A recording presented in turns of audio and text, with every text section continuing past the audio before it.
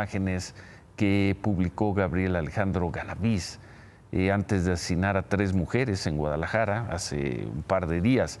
El joven publicó estas fotos en su cuenta de Facebook con la leyenda Hoy es el día. Ahí se le ve con la cara cubierta, con una mascada de calavera y con una pistola. Después de asesinar a la primera mujer en el Hotel Gran Vía, el joven se tomó una foto en el baño con un hacha, ahí está, del hotel se fue a la Universidad Tecnológica de Guadalajara y ahí mató a Ana Gabriela y a Blanca Lilia. Así lo detuvieron.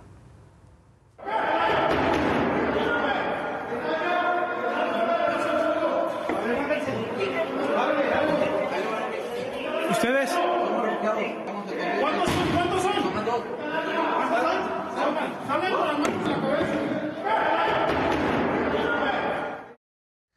Y hoy fue el funeral de Blanca Lilia, quien era empleada administrativa en la Universidad Tecnológica de Guadalajara.